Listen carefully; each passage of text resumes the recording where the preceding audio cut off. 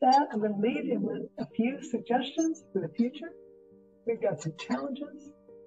One of the challenges, the woman herself is now the site of the abortion. There's not an abortion clinic to, uh, uh, you know, protest outside of because she's getting these pills in her mailbox.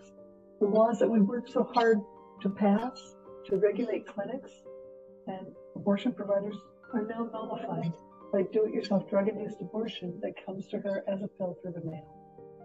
And women will be harmed about medical care for complications. Women in your congregation, your teens, your friends. They're likely going to see increased psychological trauma because they're going to see the baby that they thought was just a blob of tissue, who isn't a blob of tissue, who has arms and legs and, and face. But there are some opportunities. There's some time to reach her now before her mail order comes in. She won't be under the same high pressure sales techniques as when she walks into an abortion clinic. And she may change her mind. She may regret taking the abortion drug, and she has 72 hours to get progesterone. That's abortion pill reversal. Your pregnancy care center LifePlan can tell you about it.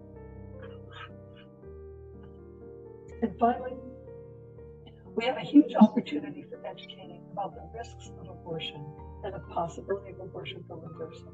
Finally, I want to tell you a little bit about my organization, the American Association of Pro-Life OBGYNs. We have a lot of information and resources. Go to our, our webpage and click on resources and you will find the answers to most of your questions. And if your doctor is not a member of AAPLOG, ask them why and invite them to join because we're, we're looking for more and more and more doctors to join us in life saving medicine. Thanks.